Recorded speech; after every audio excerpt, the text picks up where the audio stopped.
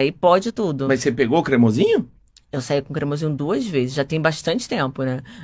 Ele falou que ficou três dias sem andar, é verdade? Será? Ou ele tá zoando? Ele falou, É, eu acho uma que com ele. Elisa. O cremosinho, ele é bem intenso. O cremosinho é bem intenso. Então, Mas eu acho é acho que ele tipo não aqueles tá cachorrinhos que acostumado. você vê na rua que fica aqui, ó. Que é não, eu acho que ele não? não tá acostumado a Ah. muito anal, porque tem muita mulher que nega.